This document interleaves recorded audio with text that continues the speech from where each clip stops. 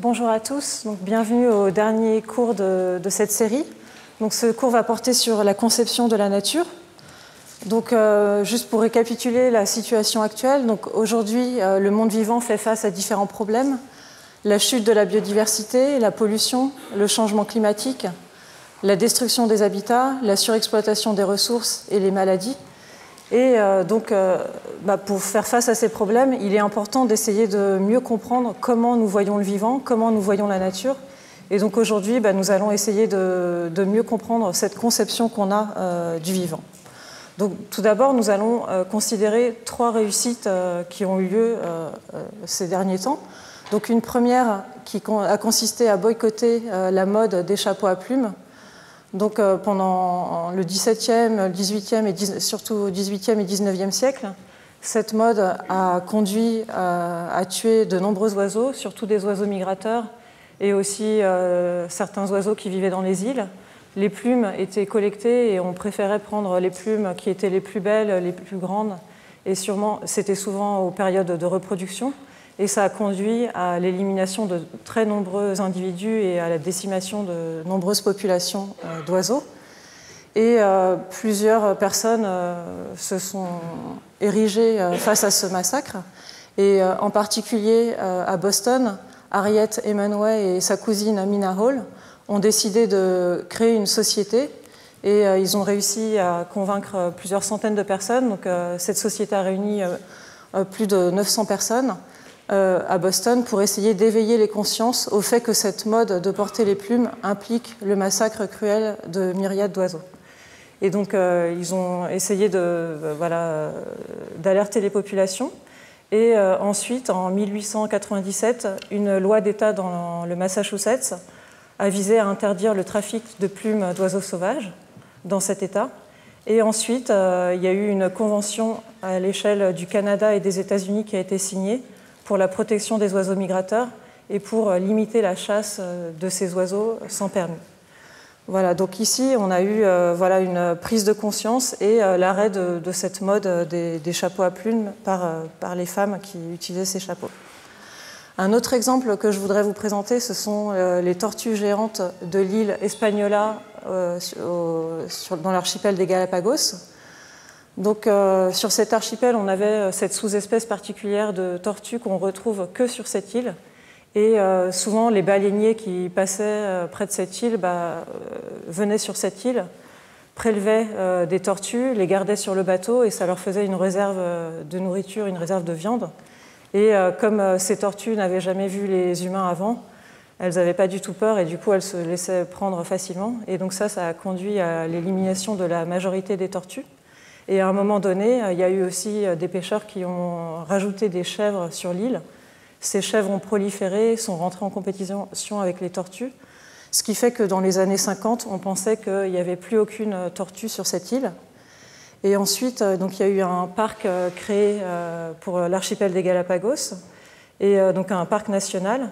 Et une personne, Miguel Castro, a été nommé gardien des tortues sur l'ensemble des Galapagos. Et donc il a décidé d'aller voir sur cette île pour essayer de voir s'il ne restait pas quelques tortues. Lors de son premier voyage, il a trouvé seulement une tortue. Et ensuite, en y retournant pendant plusieurs années, entre 63 et 65, il a pu repérer en, tout seulement 14 euh, tortues.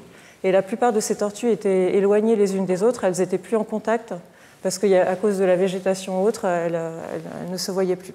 Donc ils ont décidé de rapatrier euh, toutes les tortues et de les ramener pour, euh, les élever euh, dans un centre. Donc en tout, ils ont récupéré 12 femelles et 2 mâles et ils ont voulu donc avoir des petits. Et donc ils ont développé des nouvelles techniques pour essayer d'élever cette espèce en captivité, ce qui n'avait jamais été fait auparavant. Donc il a dû y avoir énormément d'efforts fournis, mais ça ne marchait pas très bien. Et ensuite, en regardant des archives, ils se sont rendus compte qu'il y avait une tortue particulière qui avait été envoyée euh, dans le zoo de San Diego. Donc cette tortue euh, Diego, qui y était depuis 35 ans. Et donc ils ont décidé de, la rapatrier. Donc elle a pris l'avion, elle est retournée aux Galapagos. Et elle, il se trouve que c'était un mâle qui était euh, très actif. Et donc il a réussi à féconder les femelles. Et du coup, ils ont réussi à obtenir pas mal de descendants en captivité. En parallèle, dans les années 70, il y a eu toute une phase de chasse sur l'île pour éliminer les chèvres. Donc au début, ça s'est fait assez bien. Il y a eu plusieurs centaines de chèvres tuées et à la fin, les dernières chèvres étaient très sauvages, mais ils ont réussi à toutes les éliminer. Et donc à partir des années 75, ils ont euh, décidé de remettre euh, certaines des tortues euh, qui avaient été élevées en captivité sur l'île. Et donc, entre les années 75 à 2000, plus de 2000 tortues ont été relâchées. Et bah, la moitié d'entre elles environ sont, décédées, mais aujourd'hui, on a sur l'île plusieurs centaines de tortues qui survivent et qui vivent très bien sur cette île. Donc dans cet exemple, on voit qu'il bah, y a eu énormément d'efforts de fait bah, pour euh, collecter les derniers individus, euh, réussir à les élever en captivité. Et euh, en parallèle de ça, il y a eu aussi des efforts pour essayer de restaurer un écosystème tel que l'écosystème sur lequel peuvent vivre ces animaux. Donc il y a eu vraiment en parallèle ces deux efforts qui ont été faits et qui ont permis de restaurer cette espèce sur cette île. Une autre réussite euh, à l'échelle internationale, ce sont euh, l'arrêt des CFC, donc les chlorofluorocarbures, des gaz qui contribuent euh, à diminuer la quantité d'ozone dans l'atmosphère. Et l'ozone est un gaz qui nous protège des rayons ultraviolets du Soleil. Et donc, vers le milieu du XXe siècle, on a découvert que ces CFC étaient très nocifs et entraînaient la disparition de l'ozone. Et euh, cela a conduit euh, au protocole de Montréal qui a été signé en 1987 par une cinquantaine de pays pour euh, arrêter progressivement l'utilisation des CFC. Ensuite, de nombreux pays ont rejoint ce protocole et aujourd'hui, ça correspond à l'un des premiers traités qui a été universellement ratifié par l'ensemble des pays. Donc à partir de ce moment-là, euh, il y a eu euh, arrêt progressif euh, des CFC. Et par exemple, un des gaz particuliers, le CFC11, a totalement été arrêté d'être produit à partir de 2006. Et ce gaz, en fait, il est contenu dans des matières réfrigérantes ou aussi dans des mousses.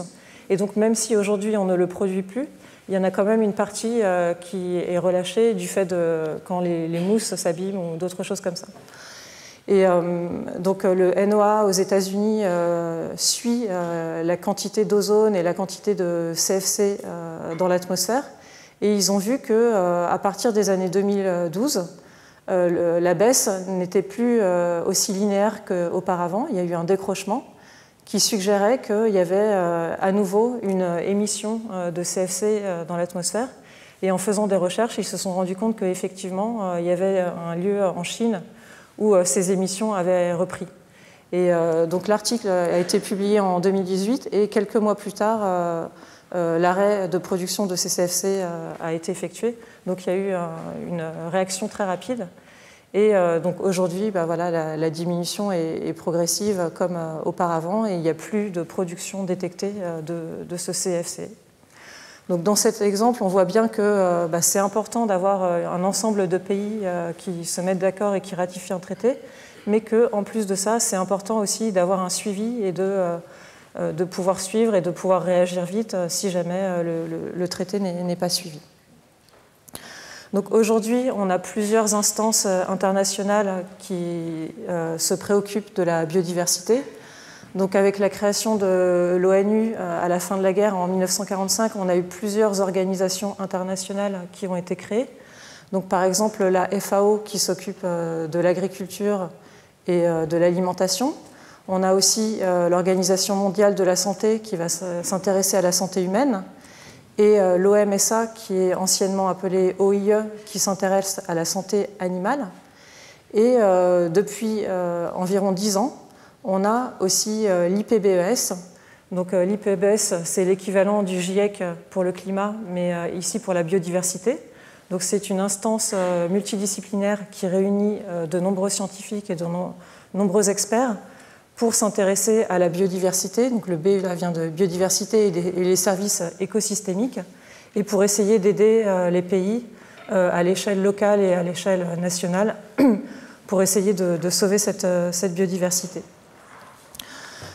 On a aussi euh, des organisations euh, non gouvernementales, comme par exemple euh, l'IUCN, qui, est l'ONG principale qui s'occupe de la conservation de la nature. Et on a aussi d'autres associations et autres, comme ici le WWF que, j'ai indiqué ici. Donc ce problème est multidisciplinaire et requiert l'ensemble des pays. Donc on a besoin d'une réflexion internationale, interdisciplinaire et qui prend en compte la pluralité des opinions. Et euh, donc ici, je vous ai mis un article euh, de Scott Gilbert qu'il a publié récemment, où euh, il propose une alliance entre la science et la religion pour ce problème de la biodiversité. Donc, ce qu'il explique, c'est que pendant longtemps, on a eu une sorte de confrontation entre la science et la religion qui avait des visions différentes, des explications différentes du monde, et notamment, par exemple, avec l'origine des espèces et Darwin qui insiste sur la compétition alors que la religion va insister euh, sur les relations entre les, entre les individus et euh, l'amour des individus entre les autres. Mais euh, on peut aussi remarquer que la science, la philosophie et la religion sont basées sur quelque chose qui est commun, qui est un émerveillement face au monde, un émerveillement face à la nature. Dans le cas de la science et de la philosophie, cet émerveillement va conduire à une curiosité et à une envie d'apprendre. Et en même temps, ça va créer euh, une, réaction euh, face à ce monde qui est complexe, qui est euh, une humilité. Et on a cette humilité aussi qu'on peut avoir avec la religion. Et cet émerveillement va, de cet émerveillement va résulter une admiration, une, gratitude. Et dans les deux cas, la science et la religion, face à cette crise de la biodiversité, ont envie bah, d'empêcher cette crise, de maintenir euh, toutes ces espèces euh, qui sont complexes, qu'on ne comprend pas totalement et euh, qui nous font rester humbles face à cette complexité et face à toutes ces choses que nous ne comprenons pas. Donc cet émerveillement, cette humilité rassemble la science et la, religion, à l'opposé d'une opinion plutôt économique avec euh, des règles mathématiques euh, très strictes, où là, euh, on a moins d'émerveillement. Donc quelque chose qu'on peut remarquer aussi, c'est que dans toutes les religions, on peut voir que les humains ne doivent pas détruire la création de Dieu. Par exemple, dans la tradition juive, il est écrit que la terre ne sera pas vendue à perpétuité, car la terre m'appartient. Vous n'êtes pour moi que des étrangers et des locataires. De même, euh, dans les enseignements bouddhiques, euh, il est proposé de vraiment conserver la nature et de ne pas la dégrader. Et par exemple, euh, on trouve cette phrase Comme une abeille, sans nuire à la fleur, à sa couleur, à son parfum, prend son nectar et s'envole, le sage doit traverser un village. Euh, de même, dans la, religion musulmane, il y a de nombreux versets du Coran qui sont euh, consacrés à la préservation de, la biodiversité, de la préservation de l'environnement. Il y a aussi euh, le gaspillage qui est considéré comme un péché.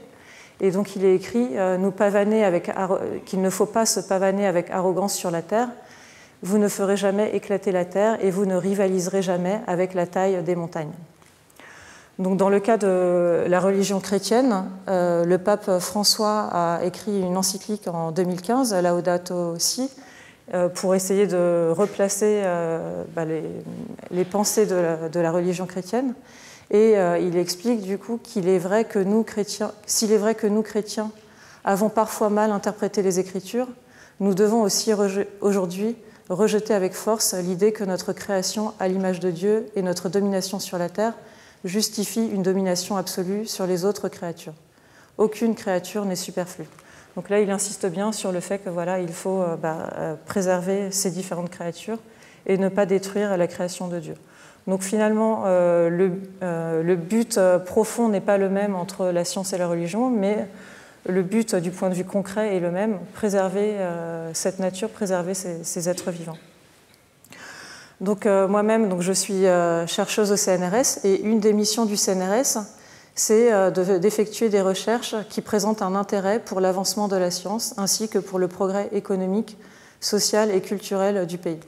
Donc dans ces cours, bah, ce que j'ai proposé, c'est vraiment d'essayer de repenser notre manière d'agir avec le vivant, d'interagir avec le vivant, de voir comment on voit ce, monde vivant. Et bah, j'espère, grâce à ce développement bah, de nouvelles, nouveaux modes de pensée, de nouveaux concepts, essayer de mieux comprendre ce vivant et de trouver des pistes euh, pour essayer euh, d'avancer face à, ces défis. Donc ce que je vous ai présenté, bah, c'est issu des différentes lectures que j'ai pu avoir et aussi je voudrais remercier les différentes personnes que j'ai contactées lors de la préparation de ces cours et bah, j'étais vraiment très contente qu'ils me répondent et qu'ils m'aident à, préparer ces cours. Donc c'est vraiment un travail collectif. Donc ici je vous les présente, je suis toute seule, mais en fait derrière moi il y a énormément de personnes et je voudrais les remercier aujourd'hui. Donc cette étude du monde vivant, vous allez me dire oui, euh, c'est juste des nouveaux concepts, des nouveaux modes de pensée, mais euh, il y a une euh, continuité entre comprendre et agir. Et même l'étude du monde vivant, la biologie, comprend à la fois des sciences fondamentales et des sciences appliquées, et on a tout un gradient, et à quelques niveaux qu'on se place, les conséquences de nos recherches peuvent avoir des actions. Par exemple, les domaines de l'évolution, l'écologie, la biologie du développement, et aussi en dehors de la biologie, la sociologie et l'économie euh, nous permettent de mieux comprendre ce monde vivant. On a aussi euh, le développement de certaines techniques qui, euh, comme je vous l'avais montré pour le forçage génétique, sont au départ développées uniquement dans les laboratoires, donc ça s'approche des sciences fondamentales, même si à la fin, le but ultime, c'est de les utiliser et à ce moment-là, on va se rapprocher plus de l'action. On a aussi euh, des domaines de la biologie qui sont euh, plus proches de l'action euh, que de la connaissance, comme la biologie de la conservation. Et on a d'autres domaines qui sont vraiment dans l'action, comme la domestication, l'agronomie, la foresterie et la lutte biologique. Donc voilà, on a tout un gradient et c'est important du coup d'avoir des, concepts pour essayer de mieux comprendre ce vivant et mieux voir comment agir en relation avec ce vivant. Donc, euh, dans la première partie de ce cours, je voudrais vous montrer euh, quelques exemples qui montrent l'importance des mots. Ensuite, nous verrons que certaines oppositions euh, qui ont façonné notre langage et notre façon de voir le monde s'estompent aujourd'hui, telles que la distinction sauvage, domestique, naturel, artificiel, nature-culture, et qu'aujourd'hui, de nouveaux concepts sont développés pour essayer de faire face à la situation actuelle. Donc sur l'importance des mots, euh, un premier exemple, c'est l'exemple de la folivorie. Ce sont les différentes façons de consommer des feuilles. Donc vous, vous avez sûrement déjà vu des feuilles euh, qui étaient mangées, voilà. Et euh, parfois on s'arrête là, on voit une feuille qui est mangée, on se dit voilà. Mais il y a tout un vocabulaire qui a été développé pour caractériser les différentes façons dont les feuilles sont mangées. Et selon les feuilles qu'on trouve, en fait, on va pouvoir imaginer quel a été euh, l'insecte ou l'animal euh, ou, l'être vivant qui a euh, mangé cette feuille. Par exemple, on peut trouver des mines, donc ce sont des tunnels creusés à l'intérieur de la feuille, et on voit toujours la, surface de la feuille ici. Et donc ces mines, on peut les trouver sur différentes espèces, et selon l'espèce et selon la forme de la mine, on peut en déduire l'espèce qui a mangé ces feuilles. Et donc là, bah, vous voyez euh, sur cet exemple-là, je trouve qu'il est intéressant parce qu'on voit que l'animal au début, il était petit. Et petit à petit, il a grossi et à la fin, voilà, il avait cette taille ici. Euh, il est sorti ensuite. On a aussi parfois des entailles. Donc les entailles peuvent être sur le bord des feuilles euh, ou plutôt sur le centre des feuilles, de formes différentes. elles vont permettre d'identifier l'animal qui a mangé les feuilles. Ici, le charançon de la vigne. Là, ici, euh, la pierrite du chou, un papillon, donc les chenilles du papillon. Dans d'autres cas, on peut avoir des petites perforations euh, qui ne trouent pas totalement la feuille. Donc là, ce sont des petits coléoptères noirs qu'on appelle les altises. Dans d'autres cas, on a des squelettes, euh, des formes de dentelles. Et donc ça, c'est un signe que ce sont des feuilles qui ont été mangées par des scarabées japonais. Et dans d'autres cas, on peut avoir des taches ou des trous qui sont parfois percés. Et donc là, c'est dû à un champignon. Donc vous voyez ici que euh, en ayant des mots particuliers, chaque mot va euh, apporter tout un monde rapproché à ce mot et va permettre de mieux comprendre certains phénomènes. Donc euh, voilà, chaque mot est associé à toute une série d'idées. Et par exemple, en biologie, on a des molécules qu'on appelle les récepteurs qui sont enchâssés dans la membrane des cellules et ces récepteurs vont capter des signaux. Et donc un, un récepteur pour un biologiste, c'est censé être une molécule qui est membranaire. Et par exemple, donc ce récepteur Notch qui avait été identifié, on ne comprenait pas très bien comment il marchait, parce qu'en fait, il a un fonctionnement très particulier. Au moment où il se lie avec euh, sa molécule donc, qui euh, reçoit qu'on appelle le ligand delta, il va activer un signal au sein de la cellule. Normalement, donc le signal est activé via d'autres molécules à l'intérieur de la cellule. Et là, ce qui se passe pour le récepteur Notch, c'est que s'il est activé, il va se couper en deux et il y a une partie de la molécule qui va rentrer à l'intérieur du noyau, qui va aller activer l'ADN et qui va conduire à l'expression de certains gènes.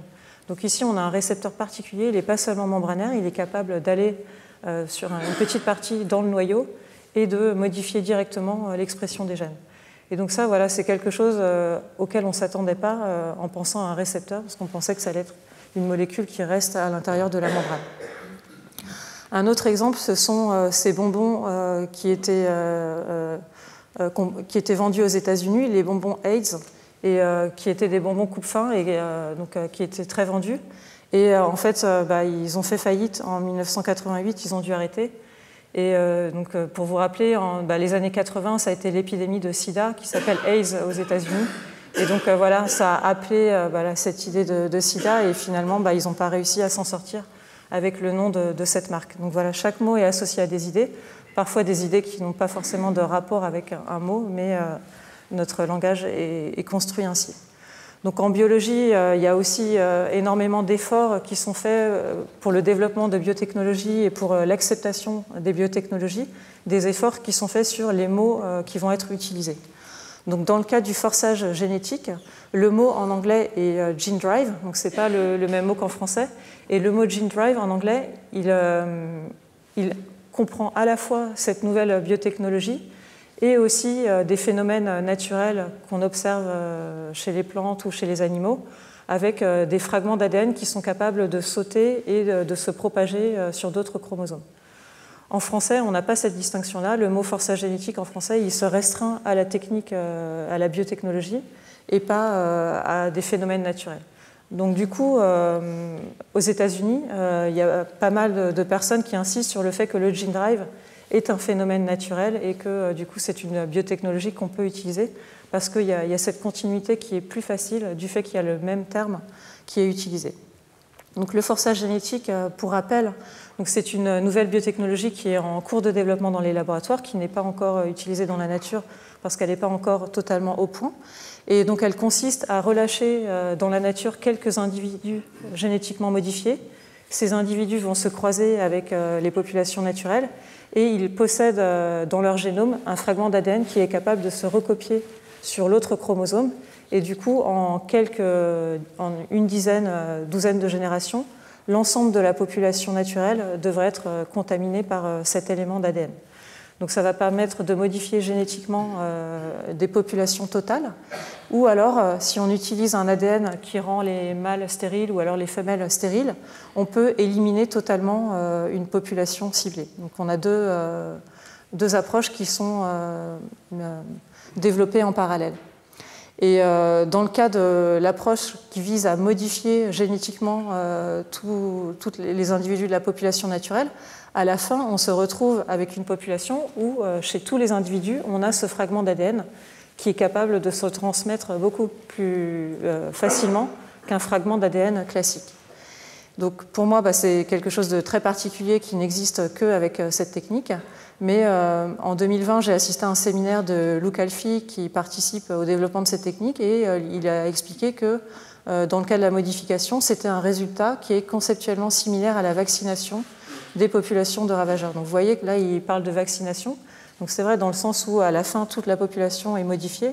Mais par contre, pour moi, ce n'est pas de la vaccination parce que euh, ça va être une modification à l'échelle du génome, alors que la vaccination, c'est une modification euh, du système immunitaire, de nos cellules euh, du système immunitaire, mais pas du génome entier des individus. Voilà, donc il y a des. Voilà, les mots sont importants aussi pour notre acceptation ou pas de certaines nouvelles biotechnologies. Les mots sont aussi importants et euh, constituent euh, parfois des clés. Et donc là, je voudrais juste vous présenter un exemple euh, de mon travail au laboratoire.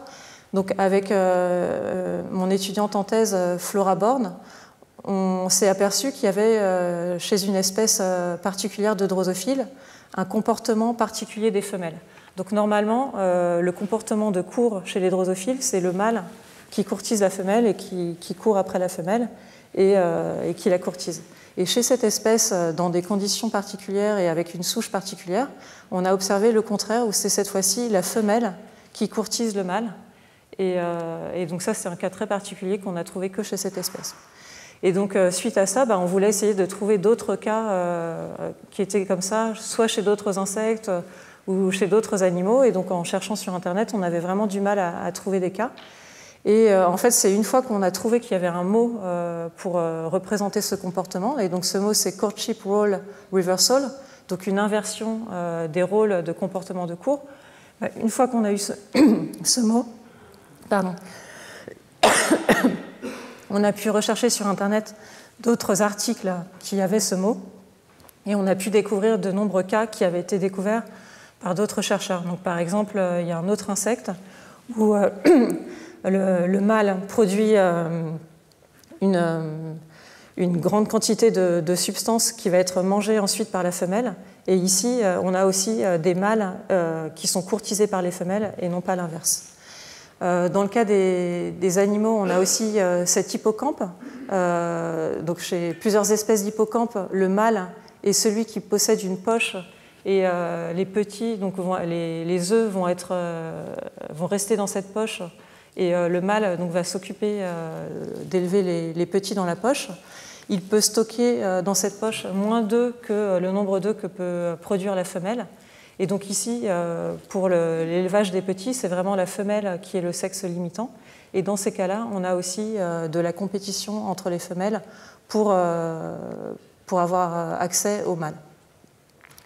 Et donc ici, voilà, donc cet exemple montre que parfois, on a besoin de mots aussi pour euh, avoir accès à tout un champ euh, qui ici euh, était difficile à avoir.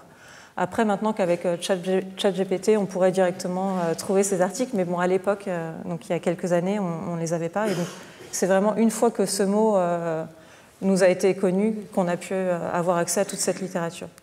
Et donc, ce qui est intéressant aussi, c'est que bah, ce mot est, critiqué parce qu'en fait, il laisse penser qu'il y a deux types de rôles. Enfin, euh, soit les mâles courtisent, soit les femelles courtisent, et on a une inversion entre ces deux cas. Mais en fait, il y a tout un gradient, et il y a des espèces qui ont les deux, où ça va dépendre des populations ou des conditions. Et donc aujourd'hui, euh, ce mot est critiqué, mais moi, bon, personnellement, je trouve que c'est bien qu'il ait existé, parce que ça m'a permis de, trouver toute une série d'articles qui ressemblent à ce qu'on a observé, nous, chez la drosophile. Ce qu'il faut aussi euh, avoir conscience, c'est qu'un mot est souvent polysémique et peut vouloir dire plusieurs choses. Donc si on prend par exemple le mot homme, donc homme, ça peut vouloir dire espèce humaine ou ça peut vouloir dire homme par opposition à la femme. Et euh, même euh, Jean Labruyère euh, se trompait entre les deux mots, et donc c'est quelque chose qu'a remarqué Nancy Houston. Et par exemple, dans un chapitre intitulé De l'homme, où il veut parler de l'être humain, il, dit, il écrit Tout notre mal vient de ne pouvoir être seul. De là le jeu, le luxe, la dissipation, le vin, les femmes, l'ignorance, la médisance, l'envie, l'oubli de soi-même et de Dieu. Donc vous voyez qu'entre-temps, il est passé à, l'homme en tant qu'homme et mâle et pas euh, femme. Et euh, donc c'est assez bizarre. donc euh, voilà. Et donc aujourd'hui, bah, par exemple à Paris, donc on parle toujours du musée de l'homme. Et bah, moi personnellement, je trouve qu'on devrait l'appeler musée de l'humain. Et donc bah, dans mes cours, j'ai essayé d'appeler, enfin de toujours parler d'humain quand on veut parler de l'espèce et homme quand on veut parler de l'homme par opposition à la femme. Après, bon, bah, je me trompe aussi parfois. Il y a aussi d'autres mots euh, dans le langage de la biologie euh, qui ont plusieurs sens, comme les mots gène, respiration ou sexe. Et là, je voudrais juste vous parler du, mot gène. Et euh, par exemple, il y avait cette question qui avait été posée dans, un forum sur Internet. Comment se fait-il que je partage 50% de mes gènes avec ma mère et aussi 50% de mes gènes avec une banane? Donc euh, peut-être vous vous êtes aussi posé ce genre de questions. En fait, c'est que le mot gène euh, a aussi plusieurs sens et parfois même dans un même article scientifique en biologie, les chercheurs vont l'utiliser dans les deux sens sans vraiment s'en rendre, compte. Donc quand on dit qu'on va transférer nos gènes à notre descendance ou qu'on a hérité nos gènes euh, de nos parents, en fait, on veut parler de version de séquences. D'accord? Donc chaque individu a une séquence légèrement différente des autres. Et ces versions-là, on peut les appeler des allèles ou parfois on peut les appeler aussi des gènes. Ou quand on dit un gène de résistance, euh, voilà, ça va être une version particulière euh, euh, d'une séquence présente à un endroit donné sur un chromosome. Donc ça, c'est l'une des significations du gène, qui correspond au gène mendélien. Une autre signification du mot gène, le gène moléculaire, c'est une région d'ADN qui va coder une protéine. Donc voilà, donc il y a par exemple le gène qui va coder le récepteur Notch dont je vous ai parlé tout à l'heure. Et donc ça, c'est un gène et on va compter combien on a de gènes dans notre génome. Donc nous, on a environ 12 à 14 000 gènes dans notre génome. Et ces gènes-là, on peut les comparer entre espèces et donc on peut voir qu'une banane, elle a environ 50% des gènes qu'on a nous, elle va les avoir aussi avec des séquences relativement différentes. Voilà, donc ça c'est une autre définition d'homogène qui est le gène moléculaire. Et on utilise ces deux définitions sans parfois s'en rendre compte. La structure du langage nous influence aussi. Donc, euh, dans notre langue, on a un verbe avec un sujet et un complément. Donc, le verbe, bah, ça va être l'action, euh, le sujet, l'acteur, et euh, le reste va, être considéré comme l'environnement. Et en biologie, on a différents acteurs qui peuvent être les gènes, les ribosomes, les différentes protéines, les hormones, les cellules, les neurones, les organes, les individus, les espèces ou les groupes fonctionnels, par exemple l'ensemble des herbivores. Et euh, donc ces mots, euh, bah, ils vont découper le vivant selon euh, les meilleures jointures que l'on trouve. Mais je vous avais montré dans un cours précédent que parfois il y a énormément d'échanges, par exemple entre les individus. Donc on a fait cette distinction entre individus, mais finalement cette distinction, bah, elle est pratique, mais elle ne reflète pas la totalité. Donc vous-même, bah, ce midi ou ce soir, vous allez manger, la nourriture va être incorporée, vous allez avoir des déchets aussi. Donc c'est tout un flux de molécules qui change tout le temps. Notre, corps change tout le temps et pourtant on considère qu'on est un individu qu'on ne change pas. Donc on a ces mots euh, qui individualisent des acteurs, qui individualisent des actions euh, que nous faisons et qui considèrent que tout le reste c'est l'environnement. Et l'environnement ça peut être plus difficile du coup à, percevoir. Et souvent du coup quand on s'intéresse aux causes euh, de certains phénomènes, on va euh, insister sur les acteurs. Donc on va insister par exemple sur les gènes, parce que c'est plus facile à comprendre que euh, sur l'environnement. Mais ce qu'il faut savoir, c'est que euh, le vivant est très complexe et souvent bah, il y a de nombreux éléments qui interagissent entre eux, souvent en même temps, et qui peuvent avoir des effets ensemble. Donc il peut y avoir des effets de plusieurs paramètres qui ensemble ne vont pas avoir le même effet que si chaque paramètre agissait individuellement. Et donc nous, notre langage nous biaise aussi pour individualiser des acteurs et ne pas voir euh, la totalité. On a aussi euh, des différences culturelles euh, qui, sont, qui, peuvent être importantes. Donc, par exemple, vous pouvez comparer ici ce tableau réalisé au XVIIIe siècle avec cette, cette, œuvre réalisée exactement à la même époque en Chine, et vous voyez que euh, dans cette euh, deuxième euh, œuvre, bah, l'environnement a une place beaucoup plus importante. Il y a énormément de choses qui ne sont pas dites, d'accord, et qui ne sont pas indiquées, alors que dans le cas précédent, bah, l'importance est donnée aux acteurs et aux personnes. Et donc ça, ça se reflète aussi dans la langue chinoise quand on la compare au français ou à l'anglais, par exemple. Et euh, donc il y a ce livre qui est un de mes livres préférés, La propension des choses, écrit par François Julien, qui reprend ces différences culturelles entre la Chine et euh, notre culture européenne, et qui explique que euh, voilà, dans, la culture chinoise, la part de l'environnement est beaucoup plus importante, et il y a aussi beaucoup de non-dits et de choses qui ne sont pas explicitées. Et, donc c'est une façon très différente de voir les choses, qui est liée aussi au langage. Notre langue va aussi euh, influencer notre façon de penser. Donc, par exemple, en français, on a un seul mot pour euh, le mot bleu, un mot unique, en anglais aussi, blue.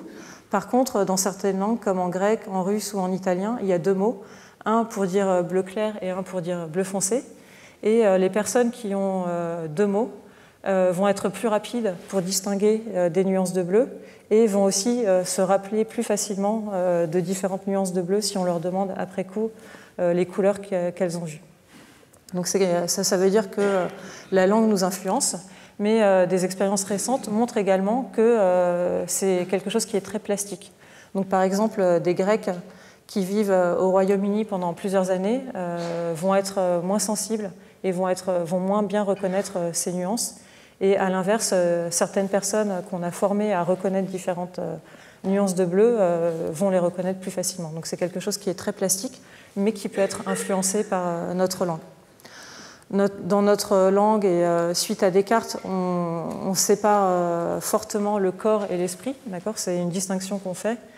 Et ça, bah, ça a eu de l'influence sur la médecine. Aujourd'hui, la médecine se focalise surtout sur le corps. on a beaucoup de mal à comprendre comment l'esprit influence le corps, comment le corps influence l'esprit. Et ça, c'est sûrement lié aussi à notre langage qui a très tôt séparé les deux. Et on a aujourd'hui du mal à, faire les, connexions. Donc aujourd'hui, je ne vais pas vous présenter cette distinction corps-esprit, mais plutôt celle entre sauvage, domestique, naturel, artificiel et nature-culture, qui est euh, très importante euh, dans notre conception de la nature, mais qui pourtant euh, n'est pas totalement exacte. Donc, avec nos modes de vie, le taux d'urbanisation augmente de manière continue. Donc, on estime qu'en 2021, en France, 80% des personnes vivent en ville et sont citadins.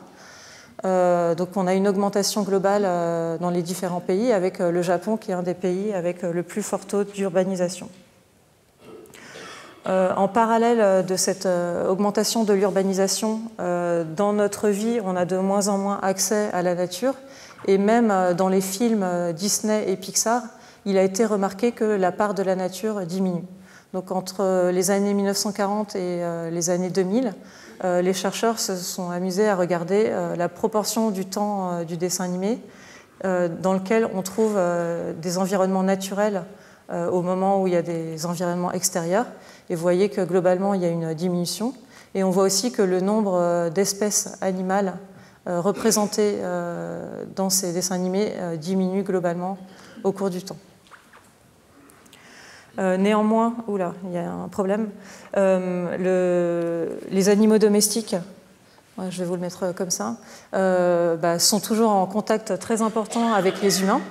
Et donc, il y a énormément de foyers qui possèdent des chiens ou des chats, presque 50% des foyers en France. Et ce qui est intéressant de remarquer, c'est que la proportion de foyers qui ont des chiens ou des chats varie fortement selon, selon les pays. Je vais réessayer. Non. Donc, euh, par exemple, en France, 20% euh, des foyers euh, ont des, chiens et 29% des chats. Et par contre, en Espagne, c'est l'inverse. Il y a plutôt des 26% des chiens et 24% de chiens et 11% de chats donc vous voyez qu'il y a des différences euh, assez importantes selon les pays. Euh, à ma connaissance, il n'y a pas eu d'études euh, socioculturelles pour essayer d'expliquer ces différences.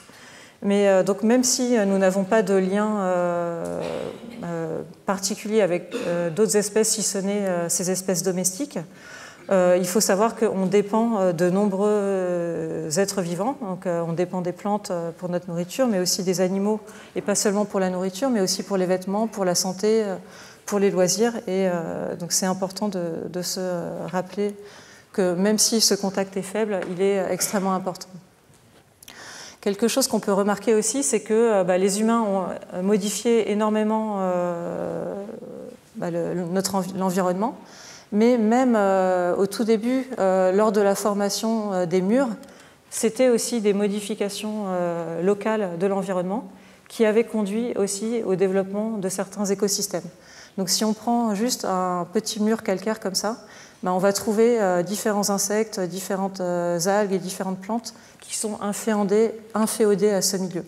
Par exemple, on va trouver euh, différentes mousses, et dans ces mousses, des organismes aquatiques qui vivent dans le film d'eau des mousses et aussi des lichens. On va aussi trouver différents insectes qui sont attirés par un microclimat plus chaud sur les endroits où les pierres reçoivent les rayons du soleil. Dans les fentes, on va voir différentes plantes euh, qui vont euh, apparaître. Et donc on voit bien que euh, même un nouvel habitat tel qu'un mur calcaire peut conduire à l'apparition de différentes espèces qui vont s'adapter à cet habitat. Dans les villes, on a aussi adaptation des plantes et des animaux. Donc ici, cette espèce de pissenlit, Crépis sancta, a été étudiée par les chercheurs et ils se sont aperçus qu'en ville, quand on regardait les graines, elles avaient tendance à être plus grosses et à tomber euh, directement euh, très proche, une, très proche du plan qui les a produits. Alors que par contre, euh, quand on se place à quelques kilomètres de là et qu'on regarde cette même espèce dans la nature, on s'aperçoit que les graines sont plus légères et ont tendance à être disséminées plus loin. Et en faisant ces études, donc les chercheurs se sont rendus compte qu'il y avait eu une évolution donc, génétique qui s'était faite en quelques générations qui est estimé entre 5 et 12 générations, il y a eu une sélection pour des individus qui vont avoir des graines plus lourdes et qui vont tomber, exactement à l'endroit où se trouve la plante. Et donc on peut imaginer que ça a pu être sélectionné parce que dans des trous de béton, si une graine dissémine au loin, elle a peu de chances de trouver de la terre, alors que si elle dissémine juste à côté, elle a plus de chances de tomber sur de la terre. Donc là, c'est un exemple d'évolution récente euh, dans un milieu urbain. On trouve même euh, des êtres vivants euh, dans des zones qu'on n'imaginait même pas. Donc ici, une bactérie, Variovorax, qui a été découverte dans le cœur d'un réacteur nucléaire en fonctionnement. Donc là, ce qui avait été fait, c'est d'utiliser de la métagénomique, donc de faire un prélèvement d'eau et ensuite de séquencer ce prélèvement. Et en faisant ce séquençage, ils se sont rendus compte qu'il y avait euh, des bactéries vivantes qui étaient présentes dans la piscine du cœur du réacteur de recherche du CEA Paris-Saclay, qui était en fonctionnement. Donc euh, voilà, ça invite, voilà, ça ouvre des perspectives pour essayer de mieux comprendre comment on peut avoir des bactéries euh, qui résistent à de si fortes radiations et, qui peuvent vivre dans ces, ces, conditions. On a aussi des adaptations comportementales. Donc, par exemple, chez la mésange charbonnière, qu'on trouve à la fois euh, dans les villes et aussi dans les campagnes. Euh, les chercheurs ont euh, mesuré, ont enregistré les sons de ces oiseaux, par exemple sous la tour Eiffel ou dans la forêt de Fontainebleau. Et ils se sont rendus compte qu'en général, ces oiseaux présents en ville ont un chant qui est plus aigu que celui qu'on trouve à la campagne. Et donc ça, c'est vrai pour la France, mais aussi euh, on trouve la même chose en Espagne, en Italie et à d'autres euh, endroits. Et donc euh, l'explication qu'on a, c'est qu'en ville, il y a énormément de bruit, notamment le bruit des voitures, qui fait un bruit grave important. Et donc les oiseaux ont évolué du coup à un nouveau chant qui leur permet de se faire entendre de leurs congénères. On a aussi des adaptations complexes de comportement. Donc ça, c'était une euh, vidéo qui date de plusieurs dizaines d'années déjà euh, de corbeaux qui ont été filmés au Japon. Et euh, donc ces corbeaux ont accès à des graines qui sont très dures et qui n'arrivent pas à casser avec leur bec. Et donc ce qu'ils font, c'est qu'ils laissent tomber les graines de très haut en espérant qu'elles se cassent, mais souvent elles ne se cassent pas. Donc ils les laissent tomber sur des routes. Ensuite, les voitures passent, écrasent les graines. Et ensuite, dans la vidéo, on voit le corbeau qui attend que le feu passe au vert pour les piétons. Et là, il va marcher sur le passage piéton et euh, manger euh, les graines. Je ne sais pas si euh, ça va jusqu'à là exactement, mais en tout cas, ici, les corbeaux utilisent les voitures. Et on peut dire quand même que les voitures, pour eux, constituent un outil pour casser ces graines. Donc les outils, bah, c'est surtout quand même les humains qui ont développé ces outils, ces objets techniques. Aujourd'hui, on a énormément d'objets techniques dans notre monde.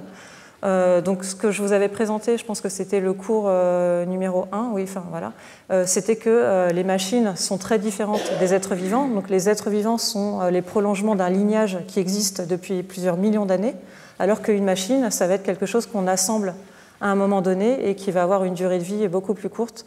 Et il y a vraiment un assemblage. Par contre, quand même, ce qu'on peut dire, c'est qu'on peut quand même essayer de reconstituer une histoire évolutive des outils. Donc si on, pourrait le faire avec les téléphones portables, on voit très bien euh, comment ils ont pu évoluer. Ici, j'ai repris un article qui a été publié en 1915 sur euh, les casques utilisés pendant la guerre. Et euh, on peut essayer de retracer l'histoire de ces casques et voir comment ils ont pu évoluer. Donc on peut voir comment on est passé d'un casque à l'autre. Mais ce qu'il faut bien remarquer ici, c'est que pour passer d'un casque à un nouveau casque, il n'y a pas de continuité physique entre les casques. Entre les deux, il y a forcément des êtres humains qui ont fabriqué des casques, qui ont fait euh, des manuels, qui ont écrit comment fabriquer ces casques. Et donc finalement, tous les outils qu'on a aujourd'hui, euh, ils ne se forment pas tout seuls, ils ont besoin des humains. On n'a pas encore fabriqué des machines qui se fabriquent euh, toutes seules totalement. Il y a toujours besoin à un moment d'humains. Donc ça veut dire que les machines sont dépendantes des humains, mais ça ne veut pas non plus dire qu'on est indépendant des machines cette dépendance, euh, bah, plus on, avance dans le temps, plus on a des risques de dépendance qui, s'effectuent, d'accord? Mais quand même, euh, les machines n'ont pas euh, ce qu'ont les êtres humains, ou pour les êtres humains, on a vraiment une continuité physique. Chaque nouvel être humain dérive bah, d'une association au départ avec un autre être humain. Les bactéries, quand elles se divisent, bah, elles vont donner deux bactéries qui, au départ, étaient collées l'une à l'autre. Chez l'être humain, bah, le, bébé va, venir du ventre de la mère. Donc il y a vraiment cette continuité physique qu'on a dans le monde vivant et qu'on ne retrouve pas dans les objets techniques. Néanmoins, les objets techniques sont partout et on, avait vu aussi dans la domestication que nos espèces euh, domestiquées ont, un lien très fort avec les objets euh, domestiques. On a aussi euh, des espèces domestiquées qui sont retournées à l'état sauvage. Par exemple, les moutons en Corse qui ont donné le mouflon de Corse, qui est considéré aujourd'hui comme une espèce sauvage. On a aussi des populations de chevaux, les chevaux de Przewalski, qui sont en fait des anciens chevaux qui, avaient été domestiqués et qui sont retournés à l'état sauvage. On a aussi euh, des chats arrêts, les chats férots, aussi le dingo en Australie, qui est un chien qui avait été euh, préalablement domestiqué et qui est redevenu euh, sauvage.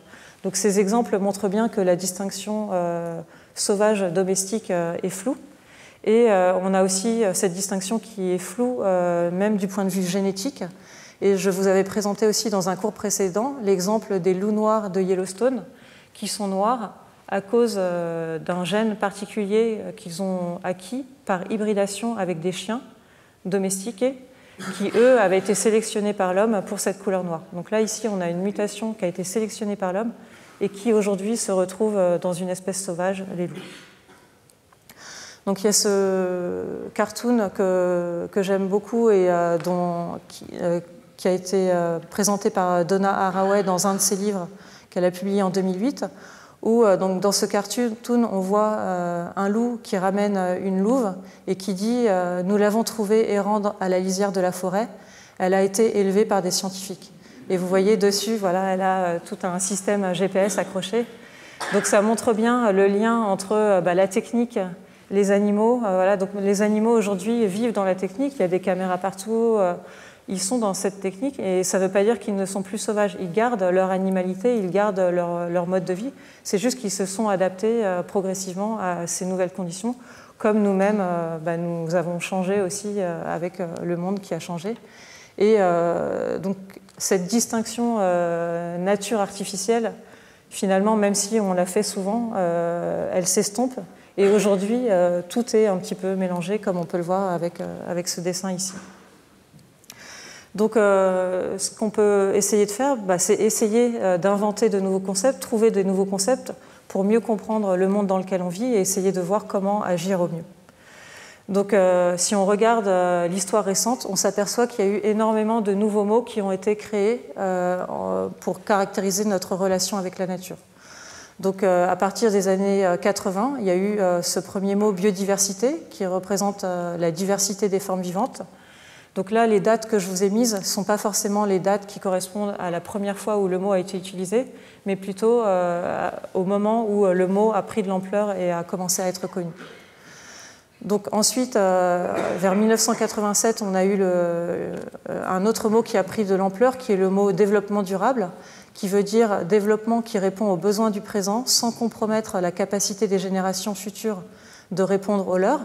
Ensuite, un peu plus tard, le mot de éco-anxiété, qui signifie la peur par anticipation d'un événement catastrophique environnemental. Et euh, en parallèle de ce mot éco-anxiété, le mot anthropocène, donc qui veut parler de cette époque euh, que nous vivons aujourd'hui, qui est marquée par l'impact significatif des humains sur la géologie et euh, sur les écosystèmes. Un peu plus tard, on a la notion de service écosystémique dont je vous avais parlé, qui s'intéresse euh, spécifiquement aux bénéfices et aux services offerts aux humains par les écosystèmes et par les êtres vivants. Donc là, c'est vraiment vu euh, du point de vue des êtres vivants. On a aussi le concept de solastalgie, qui est la souffrance causée par les changements environnementaux passés, actuels ou attendus. Et plus récemment, le concept One Health, ou une seule santé, qui montre que la santé publique, la santé animale et la santé de l'environnement sont euh, tous les trois connectés et avec euh, la crise du coronavirus, on s'est bien rendu compte euh, de, ce concept-là. Donc vous voyez que voilà, on a ces nouveaux concepts qui apparaissent, qui montrent bien qu'il y a bah, toute une réflexion qui est faite en ce moment pour essayer de mieux caractériser les relations qu'on a avec le monde vivant et de voir ce qu'on peut faire pour, pour aller plus loin. Donc en particulier le mot biodiversité, il a vraiment émergé vers le milieu des années 80 euh, après une conférence à Washington. Et euh, le but ici, c'était vraiment euh, de faire prendre conscience aux politiques de la destruction des êtres vivants sur la Terre. Et effectivement, bah, ça a bien marché parce que le mot aujourd'hui, il est très répandu. Aujourd'hui, tout le monde connaît ce mot-là. Donc ça a bien euh, marché de ce point de vue-là, mais ça n'a pas suffi. Parce que bah, aujourd'hui, à l'échelle mondiale, euh, la biodiversité continue, de décroître. Donc euh, c'est une première étape, mais ça veut dire qu'un mot tout seul ne suffit pas. Il faut aussi, avec ce mot, bah, trouver d'autres choses. Donc avec Vincent de Victor, on avait vu qu'il y a différentes raisons qui expliquent que ce mot n'est pas suffi. Déjà, bah, avec ce mot, on n'a pas euh, identifié exactement quels sont les responsables, et on insiste sur le fait que chacun est responsable. Et donc, du coup, bah, ça va être difficile aussi euh, d'agir parce qu'on n'insiste pas sur euh, les points qui sont les plus importants et les nœuds qui, eux, peuvent avoir une action plus forte que les autres. Il y a toujours des débats sur les chiffres et de savoir à quel point la biodiversité est en train de diminuer. Avec ce mot, on s'intéresse à des stocks qu'on veut gérer et qu'on veut préserver. On va avoir tendance aussi à fonctionnaliser le vivant et aussi à penser qu'on peut faire des compensations écologiques euh, si on détruit une zone, du moment qu'on en préserve une autre, euh, que ça va aller. Donc ce mot voilà, a eu euh, bah, des avantages et continue bah, d'être important, mais on voit qu'il ne suffit pas. On peut aussi remarquer que attribuer un statut particulier à une entité naturelle ne suffit pas non plus. Par exemple, le Gange est considéré comme sacré par les hindous, mais euh, donc, par exemple, si on va dedans, on va se purifier, enfin, le, corps va être purifié. Mais par contre, on s'aperçoit qu'aujourd'hui, il est extrêmement pollué. Et donc, même si on a des mots particuliers ou des concepts qui vont euh, sacraliser euh, certaines entités, on voit que ce n'est pas suffisant. Donc, quelque chose qui, pour moi, me semble vraiment important, c'est de ne pas raisonner avec notre perspective d'humain, mais d'essayer de se mettre à la place de l'autre être vivant. Et par exemple, euh, chez les arbres, euh, certaines personnes vont s'ériger contre la taille des arbres en disant on ne peut pas les tailler, on leur coupe euh, des organes, les humains ne devraient pas faire ça. Mais ça, c'est vraiment avoir une, opinion d'humain. Les arbres, eux, bah, ont un mode de vie qui est très différent. Et c'est normal, en fait, pour les arbres de perdre des branches.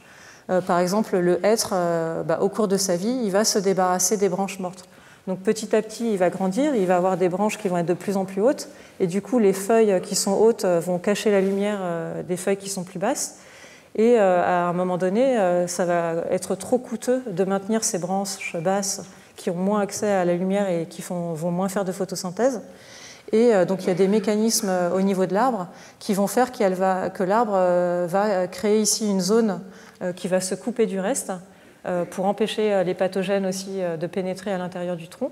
Et du coup, ça va faire une zone ici de rupture plus, plus facile. Il va y avoir des champignons, du lichen qui vont se développer sur la branche morte qui, à la fin, va tomber. Donc là, on a vraiment un phénomène naturel qui est utilisé normalement par le être. Et donc la taille des arbres bah, se rapproche de ce phénomène-là. Et donc c'est un phénomène très différent. Nous, voilà, on a du mal à imaginer qu'on va perdre des organes pour grandir, mais euh, voilà, chez les arbres, c'est euh, le mode euh, normal de vie. D'autres exemples concernent la reproduction. Et donc il y a ce livre de Malin Hacking qu'elle a publié l'année dernière qui est vraiment très intéressant, où elle reprend les études de différents chercheurs qui se sont intéressés à la sélection sexuelle et au rôle du sexe, des différents sexes, du mâle et de la femelle dans différentes espèces, chez les oiseaux, mais aussi euh, chez euh, les mammifères, chez les poissons et aussi chez les insectes.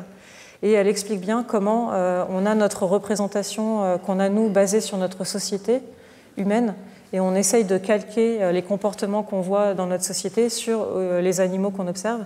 Et souvent, bah, ça conduit à, des mauvaises compréhensions de ce qui peut se passer chez certaines espèces. Et un des exemples dont elle parle dans son livre, c'est l'exemple des anacondas. Et euh, par exemple, euh, Rivas, donc un chercheur, a beaucoup étudié euh, la copulation chez ces anacondas. Et il a pris par exemple cette photo où on voit une femelle qui est en train d'être courtisée par 11 mâles. Donc il y avait déjà quelques personnes qui avaient répertorié ça, mais c'était vu comme quelque chose qui était anormal et enfin, qui n'était pas courant. Et pendant très longtemps, les chercheurs se sont dit que chez les serpents, c'était comme euh, chez les lézards et euh, comme chez d'autres espèces. C'était surtout une compétition des mâles pour les femelles. Et ça ne pouvait pas être euh, l'inverse. Et, et c'était souvent des mâles qui allaient copuler avec plusieurs femelles, mais on n'imaginait pas qu'une femelle pouvaient copuler avec plusieurs mâles. Et en fait, en faisant des analyses génétiques, ils se sont rendus compte que c'était vraiment les femelles qui copulaient avec énormément de mâles. Et en suivant les mâles, c'était très rare de trouver des mâles qui vont copuler avec plusieurs femelles. En général, le mâle soit ne copule pas, ou soit va copuler avec une seule femelle. Et euh, voilà, donc c'est très différent chez cette espèce, et c'est quelque chose que les chercheurs n'avaient pas, euh, euh, pas en tête. Ce qui est intéressant aussi chez les anacondas, c'est qu'il y a une très grande différence de taille entre les mâles et les femelles. Donc vous voyez, les mâles ici, ce sont les histogrammes en blanc. Donc ils ont une taille qui va entre 2 et 10 kg, alors que euh, chez les femelles adultes, la taille va entre 8 et 80 kg. Donc vous voyez ici euh, la taille donc bien plus grande. Donc là ici, euh, la taille qui est représentée ici, ce sont les animaux adultes qu'on a repérés en train de copuler. Donc c'est sur ces animaux-là qu'ont été faites les mesures. Donc en général, chez la plupart des espèces, quand il y a une différence de taille entre les deux sexes, c'est plutôt le mâle qui est plus gros. Et là, vous voyez, c'est un cas opposé où ce sont les femelles qui sont plus grosses. Et ici, sur cette photo, euh, vous voyez une, grande, euh, une grosse femelle ici, euh, Anaconda, qui est sortie de l'eau. Donc au départ, elle était en train de copuler dans l'eau, donc il y avait toute une agrégation de mâles sur elle. Et quand elle est sortie de l'eau, bah, il y a pas mal de mâles qui sont restés entourés à elle. Et là, vous voyez aussi un autre agrégat où là, il y a plusieurs mâles petits qui entourent un plus gros mâle. Et donc là, ce que les chercheurs pensent, c'est que bah, au moment de l'accouplement, donc il y a vraiment, ça dure assez longtemps, et les mâles euh, s'entortillent autour de la femelle. Et euh, donc finalement, toutes les phéromones du mâle et de la femelle sont mélangées vu que, ça dure assez longtemps. Donc il ne peut pas y avoir de reconnaissance mâle-femelle qui peut s'effectuer euh, de façon chimique vu que l'ensemble est mélangé. Et donc la, reconnaissance va plutôt se faire sur la taille. Et donc les mâles vont reconnaître la femelle parce qu'elle est plus grosse. Et donc là, ici, ça pourrait être des mâles qui pensent copuler avec une femelle alors qu'en fait c'est un mâle. Voilà, et donc, euh, vous voyez, on a des, quelque chose qu'on n'imaginait pas. Donc, c'est vraiment en étudiant euh, le comportement de ces individus qu'on essaye vraiment que les chercheurs essayent de comprendre comment chez cette espèce, euh, comment ces individus vivent et, et vont se reproduire. Et donc, Rezus Rivas, avec son collaborateur Gordon Burgart, ont écrit un article en 2005 où ils expliquent que euh, chez la plupart des serpents, donc eux, ils ont fait leurs études sur l'anaconda gris, l'anaconda vert, pardon, mais euh, en étudiant aussi euh, la littérature, ils se sont rendus compte que bah, c'était quelque chose de très commun. Et donc chez les serpents, en général, une femelle va être fécondée par de nombreux mâles, et par contre, les mâles, eux, ne fécondent qu'une seule femelle en général. Et donc ça, c'est différent de ce qu'on pensait au départ. Au départ, les, les chercheurs pensaient qu'on avait une polygynie, avec euh, un mâle qui va féconder plusieurs femelles. Et donc ils ont eu beaucoup de mal à publier leur article qui montre euh, la résistance que peuvent avoir euh, les personnes dans le domaine. Et donc par exemple, un des reviewers a dit cet argument va à l'encontre de ce que nous comprenons des systèmes d'accouplement des serpents, mais les auteurs présentent une nouvelle perspective intéressante qui mérite d'être explorée. Donc on voit la difficulté à accueillir cette nouvelle compréhension qu'on peut avoir de certains êtres vivants. Donc euh, moi-même, j'étudie les mouches drosophiles. On les élève dans des petits tubes comme ça, avec euh, du milieu ici pour euh, vivre. Et en général, bah, on considère que ce sont des organismes très simples. On a juste besoin de leur mettre de la nourriture et, ça suffit pour qu'elles survivent. Et bah, en ce moment, il y a pas mal d'études qui sont faites pour les élever dans un milieu qu'on appelle enrichi, pour qu'elles aient accès à plus de choses et voir si ça va changer leur comportement et leur physiologie. Donc là, c'est une expérience euh, qui a été faite en 2019 où euh, dans un tube normal de mouche, euh, on a rajouté des, tubes en plastique où elles peuvent circuler, donc ça leur fait des petits labyrinthes. Et ici, une cage dans laquelle ont été mises différentes plantes et aussi des tranches de bananes, de pêche, de pommes, etc et euh, même un petit insecte robot. Euh, voilà. Et donc on voit que, euh, bah, surtout dans ce nouvel environnement-là, on détecte des comportements qui ne sont pas les mêmes que ceux qu'on a dans des tubes normaux. Donc même des animaux très simples comme les drosophiles, des petites mouches de 2 mm, peuvent aussi être influencés par leur environnement et avoir des comportements différents. Donc nous-mêmes, il faut aussi qu'on se pose des questions sur notre façon de vivre on ne peut pas imaginer une population humaine qui va continuer de, grandir. Enfin, les ressources sont limitées. Donc il va falloir qu'on trouve un moyen de vivre ce qu'on appelle en capacité de charge. Donc la dynamique des populations montre que quand on étudie une population qui va s'installer dans un nouvel endroit, ben, en général, on va avoir au, début euh, une augmentation exponentielle de la population, puis à un moment, ça va se stabiliser, on va arriver à un équilibre, et on appelle euh, ce nombre d'individus dans la population à l'équilibre la capacité de charge. Donc cette capacité de charge, elle va dépendre des espèces, elle va dépendre aussi des milieux, de la quantité de nourriture disponible, et elle va aussi dépendre euh, des autres espèces présentes dans ce milieu. Et donc nous-mêmes, euh, voilà, il faut imaginer à un moment donné que euh, la population ne euh, peut pas croître indéfiniment.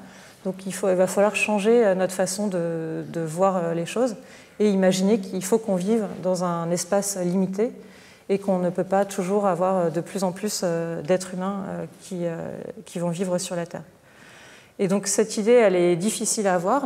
Parfois, donc, on a voilà, des choses qui nous laissent rêver, qui nous font rêver que on va aller coloniser d'autres planètes, mais bah, comme l'avait dit déjà euh, Bruno David il y a quelques semaines, c'est quelque chose qu'on ne verra pas nous de notre vivant. Donc ce n'est pas la peine d'imaginer qu'on va aller sur une autre planète. Il faut vivre sur la planète qu'on a aujourd'hui. Voilà, donc euh, il y a ce livre euh, qui est vraiment très bien et qui reprend ce thème. Nous ne vivrons pas sur Mars ni ailleurs, qui explique bah, toutes les difficultés techniques qu'il y a à aller vivre sur Mars. Donc il y a énormément de difficultés qui ne sont pas du tout résolues. En plus, pour y aller, il faudrait utiliser euh, de l'énergie nucléaire, donc ça voudrait dire qu'on mettrait aussi euh, du nucléaire sur Mars. Et ensuite, la vie là-bas serait impossible. On peut pas cultiver, on peut cultiver aucune plante. Il y a du phtalate, c'est très toxique. Donc il faudrait vivre toujours euh, dans une, une petite coque protégée du reste. C'est pas une vie qui nous plairait. Donc on a aussi tendance à dévaloriser ce qu'on a, à imaginer que l'herbe est plus verte ailleurs, mais c'est pas vrai la, Terre, elle est belle pour ce qu'elle est ici. Il n'y a pas besoin d'aller imaginer que sur Mars, ça va être mieux. C'est sûr que ça sera moins bien. Il faut vivre sur, sur notre Terre. Et euh, voilà, donc cette dévalorisation, voilà, on la voit aussi euh, en, dévalorisant euh, une pomme, alors qu'une pomme, voilà, c'est quelque chose de très important. C'est un être vivant qui a de très fortes potentialités et on va plutôt favoriser des objets techniques aujourd'hui, alors que bah, ce vivant, il est très important, on en a besoin pour vivre et il faut essayer de se dire qu'il voilà, de ne pas toujours le, dévaloriser. Donc la vie aussi sur une autre planète serait très difficile, même du point de vue des, humains pour la vie. Donc il y a eu cette expérience qui a été faite en Arizona qui s'appelle Biosphère 2, donc biosphère 1, c'est notre biosphère, et biosphère 2, donc c'était euh, cette expérience qui avait été faite, où sur plus d'un hectare, il y avait une grande serre euh, fabriquée, et euh, dans cette grande serre, plusieurs écosystèmes, un désert, une forêt, un milieu marin, et huit personnes, donc quatre hommes et quatre femmes, qui sont allés dans cette biosphère pour vivre et pour être séparés du reste du monde dans les années 90. Et euh, bah, en fait, au bout d'un an et demi, euh, l'atmosphère était devenue très difficile à vivre. Il y avait une augmentation importante de la quantité de CO2, il y avait une diminution de la quantité d'oxygène, donc ça faisait comme si euh, les personnes étaient en train de vivre à haute altitude, donc elles avaient une difficulté à, respirer. Les insectes qu'on avait mis dans la biosphère 2 sont morts aussi parce qu'il n'y avait pas assez d'oxygène. Il y a eu euh, des cafards, par contre, euh, qui ont pris le dessus. Enfin, bon, c'était très difficile. Et du coup, au bout de deux ans, ils ont dû arrêter l'expérience parce qu'ils essayaient de rajouter euh, de l'oxygène sous Biosphère 2, mais bon, bah, ça ne correspondait plus à ce qu'on voulait tester. Quelques années plus tard, l'expérience a été renouvelée. Et cette fois-ci, il y a plutôt eu des conflits humains qui fait qu'au bout de six mois, ils ont arrêté l'expérience et ça n'a pas non plus marché. Donc, c'est pour dire que voilà, vivre aussi euh, sur Mars, bah, ça implique aussi de, voilà, plein de phénomènes euh, très difficiles. Euh, aujourd'hui, bah, l'exemple qu'on a qui marche bien, c'est l'ISS, hein, la Station spatiale internationale, mais elle est toujours en contact continu avec la, Terre. Il y a toujours des réparations qui se font tout le temps, on récupère les déchets, on renvoie des, nouvelles pièces en continu. Donc ça, ça, permet de se maintenir parce que c'est à quelques centaines de kilomètres euh, de, la Terre, mais par contre, euh, si on avait une colonie sur Mars et qu'il y avait un problème, là, c'est beaucoup trop loin pour euh, ramener des pièces. voilà. Donc, une autre chose qui fait rêver aussi, ça peut être la désextinction. par exemple, faire revivre des espèces disparues. Donc il y a ce projet Colossal Science, donc cette, cette comment on dit, cette compagnie qui a été créée euh, en 2021 aux États-Unis pour essayer euh, de déséteindre certaines espèces, comme par exemple le loup de Tasmanie dont je vous avais parlé, le dodo ou le mammouth. Et donc vous voyez qu'ils ont réussi à récupérer euh, au moins 150 millions de dollars pour ces projets de désextinction. Et donc bah, c'est des projets qui sont intéressants dans le sens où ça peut développer de nouvelles méthodes et de nouvelles approches. Mais euh, par contre, il ne faut pas se dire que euh, c'est grâce à ces approches-là euh, qu'on va restaurer un monde viable. Déjà, ça coûte très très cher. Peut-être qu'on va produire de nouveaux individus d'une espèce disparue, mais ces individus-là, il va falloir les maintenir. Souvent, ça va être en captivité parce que leur milieu de vie n'existe plus. Voilà. Euh, et, voilà, et ça ne nous permet pas de, vivre dans, un meilleur monde. C'est vraiment quelques espèces particulières. Donc ça insiste sur le fait que euh, les humains ont de très fortes capacités, d'accord? Et euh, ça diminue l'idée que les êtres vivants peuvent vivre par eux-mêmes, alors qu'ils n'ont pas besoin des humains pour vivre, d'accord? On n'a pas besoin d'humains pour vivre, il faut plutôt préserver ce qui existe déjà. Donc en conclusion, euh, aujourd'hui, donc cette opposition naturelle-artificielle s'estompe. Et euh, dans notre euh, esprit humain, les mots sont très importants et les concepts aussi ont un point important. Et c'est pourquoi bah, je pense qu'aujourd'hui, face à les situations actuelles, il est important de développer des nouvelles façons de penser ce monde vivant et qu'en pensant le monde différemment, on va pouvoir trouver de nouvelles façons de vivre pour mieux préserver la biodiversité actuelle. Donc, euh, lors de ma leçon inaugurale, donc, je vous avais parlé de la crise de la biodiversité actuelle et comment elle remet en question euh, la science en, observant qu'avec la biologie, on n'a pas pu empêcher cette crise de la biodiversité. Donc, ça remet en question euh, la biologie et ça nous invite à repenser ses fondements et à essayer de mieux comprendre les points où on a pu se tromper, où on a pu mal prendre en compte certains paramètres. Et ensuite, euh, dans les différents cours, on a vu euh, différents aspects euh, du monde vivant qui ne sont pas forcément intuitifs, mais qui sont importants de, tenir compte. Donc, par exemple, que chaque être vivant résulte d'une histoire et que cette histoire est importante pour comprendre les caractéristiques des êtres vivants. Nous avons aussi vu que les séquences d'ADN ont modifié notre vision du vivant et elles nous apportent un nouveau sens pour mieux comprendre ce vivant. Euh, nous avons aussi vu qu'on euh, a tendance à hiérarchiser le vivant et à le fonctionnaliser en trouvant des services, mais il faut essayer de dépasser euh, cette approche hiérarchisante et fonctionnalisante, que les interactions dans le vivant sont extrêmement importantes et qu'en découpant en individus, on, perd cette notion d'interaction et de dépendance qu'on a vis-à-vis d'autres êtres vivants. Souvent, le monde vivant est très complexe, donc euh, le rasoir d'Occam ne s'applique pas toujours et c'est important de aussi considérer des explications complexes. Euh, la domestication est une relation particulière que nous avons avec certains êtres vivants, elle est spéciale et elle nous a aussi euh, influencé dans notre façon de voir le monde vivant.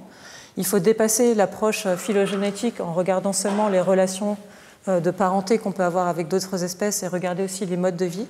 Et euh, dans cette dernière partie, euh, donc j'ai insisté voilà, sur l'importance des mots et euh, le fait que c'est important d'essayer de se mettre à la place des autres êtres vivants pour mieux comprendre leur mode de vie et essayer de voir comment on peut vivre avec ces êtres vivants. Donc juste pour finir, quelques livres pour aller plus loin. Donc Darwin Comes to Town, qui reprend quelques exemples d'adaptation des êtres vivants au milieu urbain. Ensuite, ce livre, qui est une interview de Philippe Descola, qui reprend bien cette idée euh, de notre euh, vision de ce qu'est la nature en comparaison avec d'autres peuples qui, eux, ont une vision différente de ce concept de nature. ce livre de Vinciane Després, Penser comme un rat, qui montre que les animaux, même quand on les regarde, voient les humains, on n'est pas. voilà. Et du coup, vont réaliser les expériences d'une manière qui va dépendre de comment les humains les manipulent et comment les humains les regardent. Et enfin, ce livre de Baptiste, qui va donner le, séminaire maintenant, Manière d'être vivant, donc qui s'intéresse à quelques cas particuliers pour essayer de vraiment comprendre comment euh, certaines espèces vivent dans notre monde. Donc merci beaucoup pour votre attention et c'était un plaisir de donner ces cours. Merci.